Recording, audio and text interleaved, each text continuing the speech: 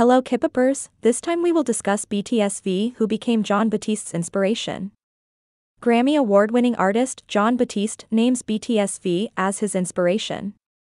It cannot be denied that BTS V has motivated others with his interesting personality. How not, BTS V has achieved remarkable achievements in his debut in BTS. He also proved his expertise in fashion. As world-class artists, it's no wonder that the members of BTS are a source of inspiration for many. But perhaps no one expected a legendary musician like Jon Batiste to feel the same way. Over the past few years, BTS has befriended some of the biggest names in the global music industry. They've had close relationships with the likes of Chris Martin, Anderson .Paak, Halsey, and Becky G, but unlike all friendships that develop through musical collaborations, Jon Batiste's relationship with BTSV developed through the music world's most prestigious award.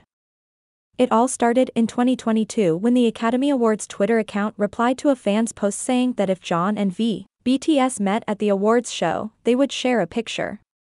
Jon replied to the same post, showing a desire to meet the BTS member. Batiste then followed V BTS on his Instagram account and shared a video of him playing Autumn Leaves on trumpet. The two finally met at the 2022 Grammy Awards, where VBTS showed his enthusiastic support for Batiste's historic win for Album of the Year. The two also clicked a photo together, confirming that they had finally met in person. From VBTS, we can conclude that optimism is a belief that leads to achievement. Nothing can be done without hope and faith. Don't look for friends who make you feel comfortable, but look for friends who force you to keep growing.